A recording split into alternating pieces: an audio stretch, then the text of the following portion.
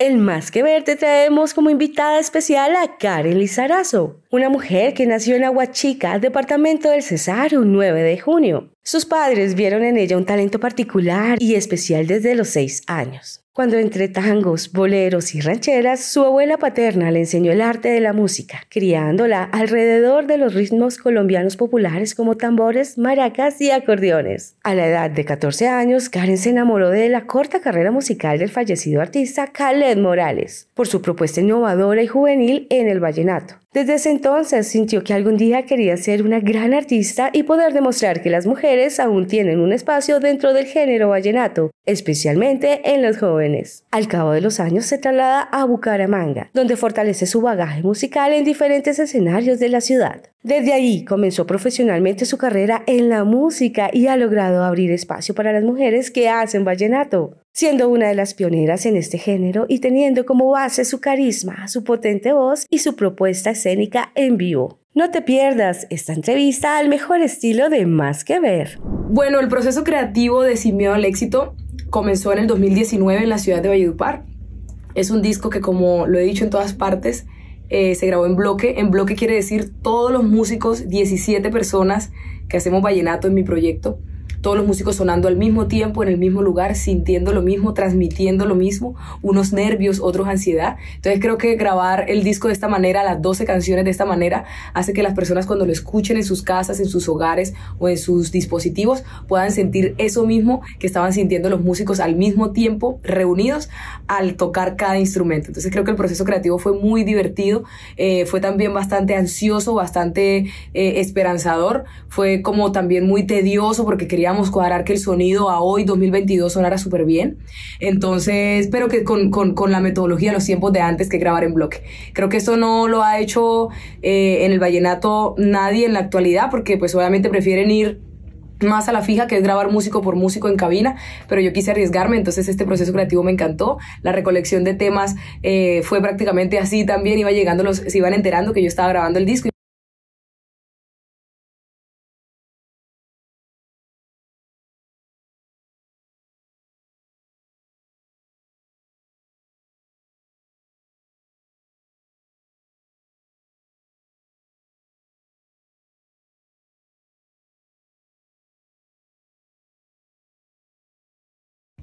Bueno, ¿de dónde nace el nombre del álbum?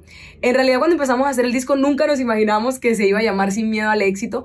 Ustedes saben que, que yo tengo todos mis seguidores y pues los seguidores de la música de Karen Lizarazo, más que mis seguidores son los seguidores de mi música. Y pensamos muchas cosas que tuviera que ver con el color morado y con los carenistas, con la mancha morada. Eso en un comienzo fue así.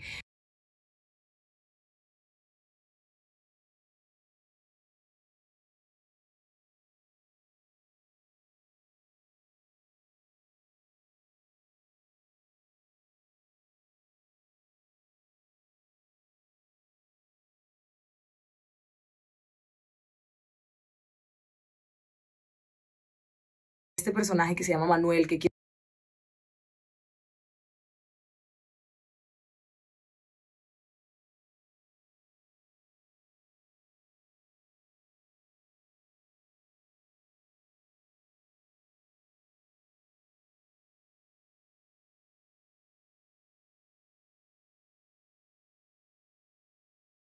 hasta miedo de ser exitosa porque no estamos preparados para el éxito.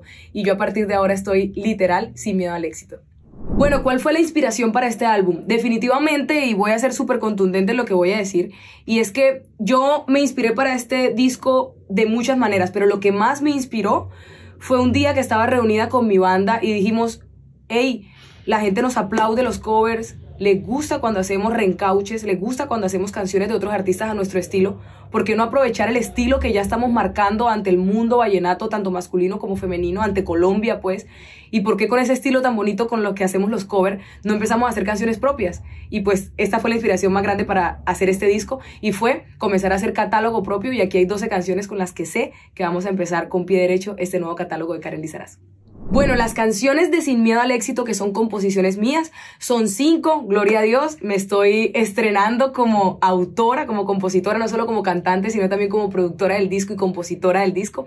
Eh, una de las canciones la hice al lado de Omar Geles, que se llama Por tu culpa, la otra canción la hice al lado del Gran Gucci, que se llama En la boca, la otra canción la escribí yo, solita, se llama Mesero, otra también que hice eh, hace más o menos un año, se llama El amor de tu vida.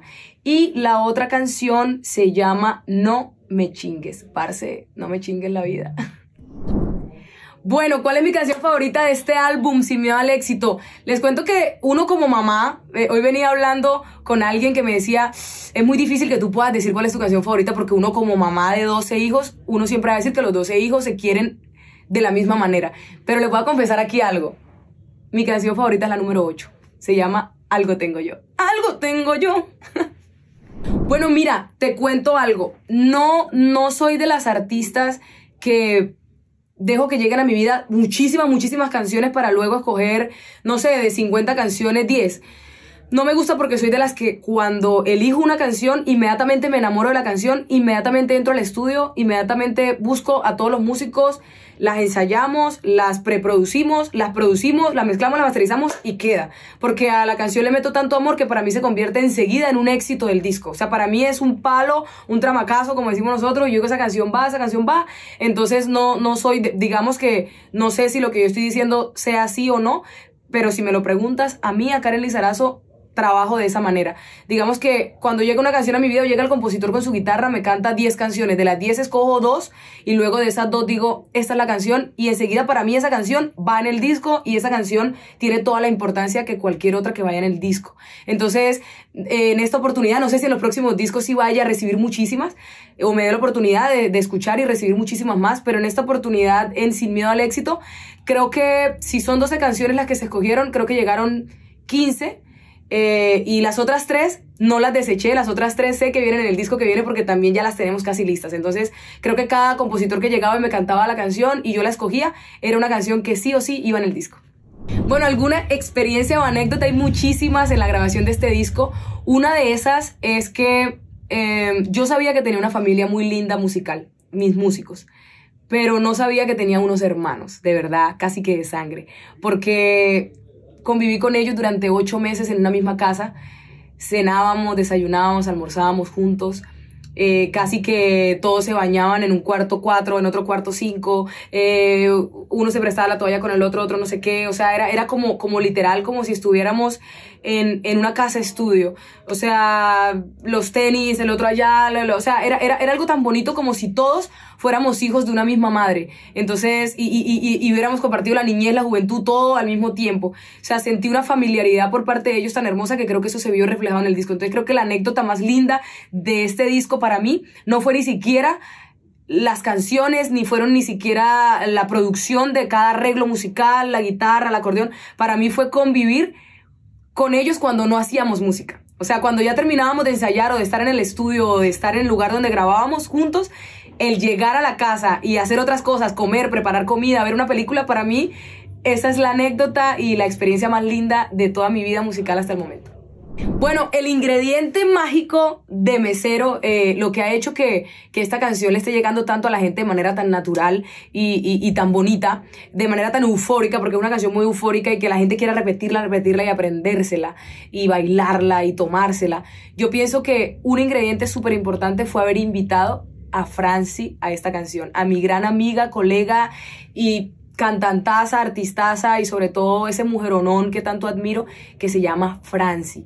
Esa mujer llegó a esta canción a darle el nivel que merecía, llegó a esta canción a darle el valor que merecía esta canción y sobre todo llegó a mi vida a llenarme de ese empoderamiento femenino que tiene ella y de esa fuerza que muchas veces nosotras las mujeres cuando hacemos música que de pronto la gente piensa que es más para hombre que para mujer, a veces perdemos como esa fuerza o decimos, Dios, ¿será que, ¿será que esto es lo mío? ¿Será que de pronto esto es para hombres, no es para mujeres? Y ella llega y me dice, ¿cómo que no? Que yo también hago música popular y allá también hay machismo y allá también es duro que una mujer salga adelante. Vamos para adelante, Karen. Y ella llegó a llenarme de esa fuerza y por eso Mesero tiene esa fuerza de la música popular por parte de Franci y de la música vallenata por parte mía.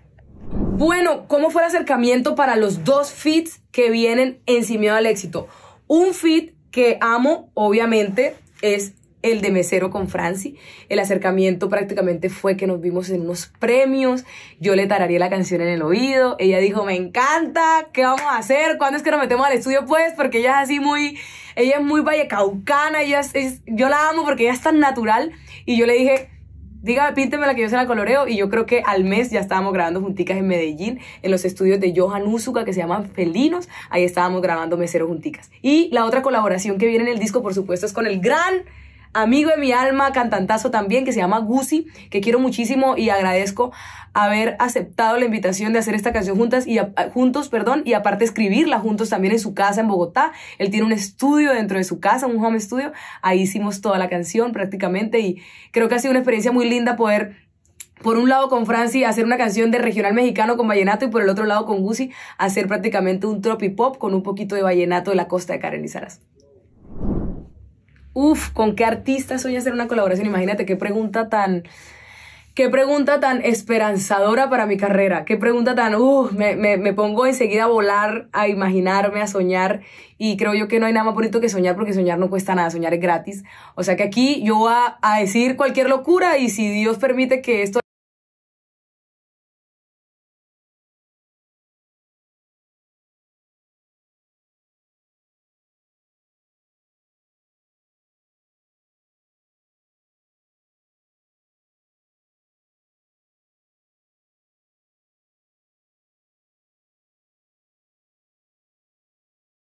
cana en el alma, así como yo siento el